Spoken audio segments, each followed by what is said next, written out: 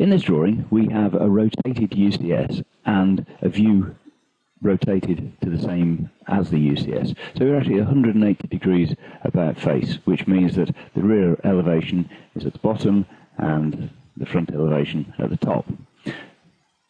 The elevations have been arranged around our, our plan here, and in the, the sheet we can see that the viewports, uh, they themselves are rotated. If we do an object properties there, we have the rotation angle to give us the correct alignment for our views. Uh, you also notice that we have the boundary set not to be visible.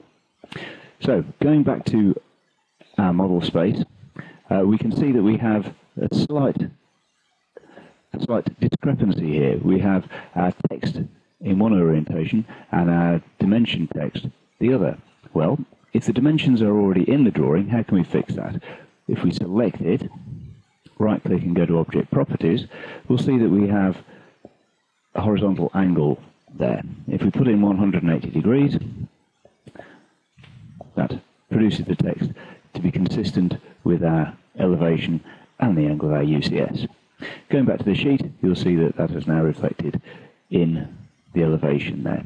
But what happens, going back to our model now, what happens if we're wanting to introduce a new dimension? Well, in Caddie 16, if we go to dimensions and we come down to the dimension set,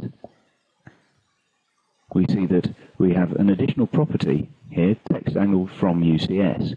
So if we have that ticked, and then we do our dimension, so going to a horizontal dimension here, that actually inverts the dimension to be the correct angle for us in our finished drawing.